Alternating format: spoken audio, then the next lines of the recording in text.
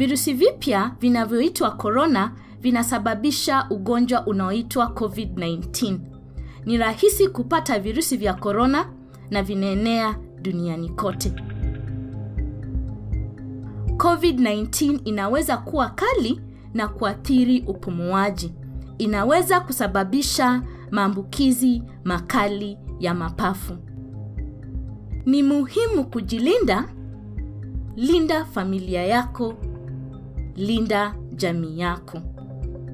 Mtu yeyote anaweza kupata covid-19 watu wengi watapata nafuu lakini wazee au walio na maradhi mengine wako hatarini ya kugua zaidi wakipata covid-19 watu walemavu wako hatarini kama mtu yeyote yule. Wewe familia yako na jamii yako yote lazima mzuie kuenea kwa virusi na kusaidiana. Lakini sambaza habari. Kunaweza kuwa na uvumi mwingi na unyanyapaa nyakati hizi zinazoweza kuwafanya watu kuwa na wasiwasi.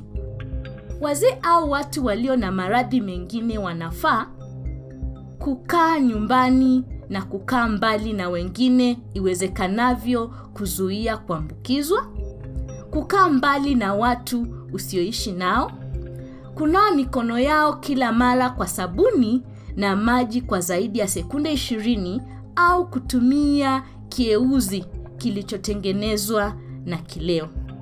Wakihisi kuugua na wanashuku kuwa na covid-19 wanapaswa kuwasiliana na kituo cha afya kilicho karibu kwa maelekezo kaa salama leta utofauti